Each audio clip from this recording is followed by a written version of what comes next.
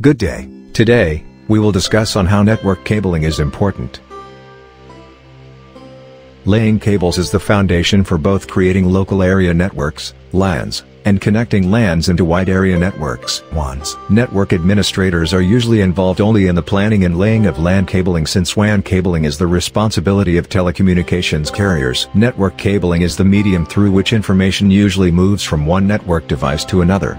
There are several types of cable which are commonly used with LANs. In some cases, a network will utilize only one type of cable, other networks will use a variety of cable types. The type of cable chosen for a network is related to the network's topology, protocol, and size. Understanding the characteristics of different types of cable and how they relate to other aspects of a network is necessary for the development of a successful network. There are two basic types of cabling used in LAN. First is the copper cabling which consists of insulated copper conductors that transmit signals using electrical voltages and currents. Copper cabling can be either coaxial cabling, such as Thinnet or Thicknet, that is used mainly in industrial environments, or the more commonly employed twisted pair cabling. Twisted pair cabling comes as either unshielded twisted pair, UTP, cabling, commonly used in Ethernet or fast Ethernet environments, or the less common shielded twisted pair, STP, Cabling Copper cabling is mainly used for shorter cable runs such as horizontal cable runs between wiring closets and wall plates in work areas, for patch cables, and for equipment interconnects. The second type is the fiber optic cabling which is made of glass strands that transmit signals as light waves or pulses. Fiber optic cabling can be either single mode, which is used for the longest cable runs, or multi-mode which has a much higher carrying capacity. Fiber optic cabling is generally used for backbone cable runs such as vertical rises in buildings and building-to-building -building interconnects on a campus, for high-speed interconnects between networking devices in a wiring closet, and for connections to high-speed servers and workstations. The quality of UTP may vary from telephone-grade wire to extremely high-speed cable.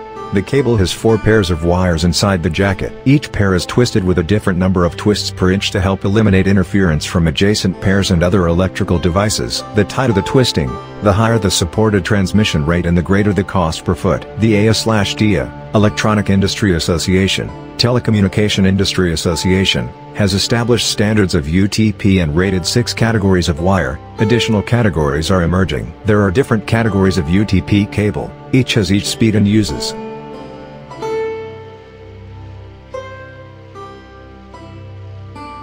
We will now identify the different tools needed to make network cable. First is the Category 5 Enhanced Cable, Cat5e, is a twisted pair cable for computer networks. Since 2001, the variant commonly in use is the Category 5e specification, Cat5e. Next is RJ45 connector which is a standardized interface which often connects a computer to a local area network, LAN. This type of connector was originally developed for telephone communications but is now used in a range of applications.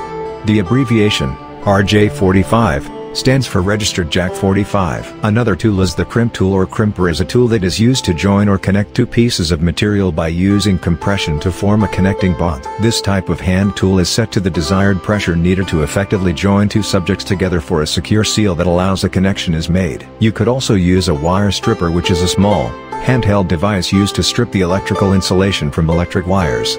Lastly, the LAN tester, a device which helps to observe the connectivity and strength of a particular type of cable or other wired assemblies.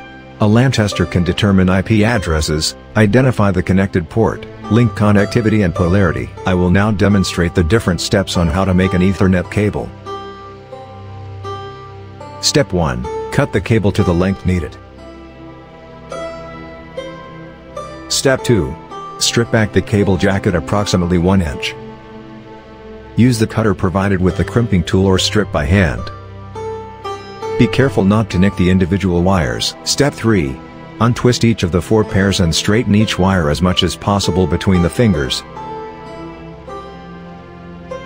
Step 4. Use the color coding wiring scheme on both ends for a standard patch cable. You could use the 568A or 568B color coding scheme. Step 5.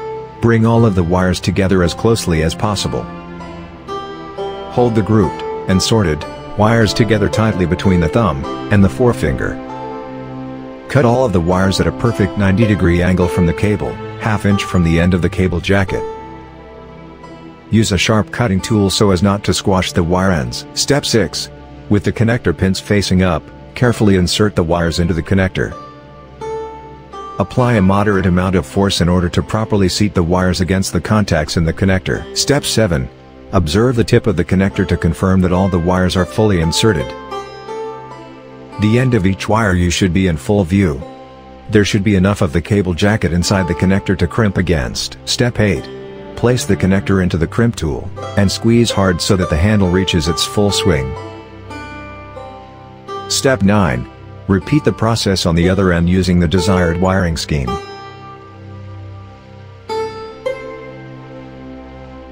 Last and final step, always use a cable tester to check for continuity, opens and shorts. That's it, hope you have learned something from my video. Don't forget to hit the subscribe button, like and leave a positive comment and share my channel, Unlocking Possibilities. Thank you and God bless.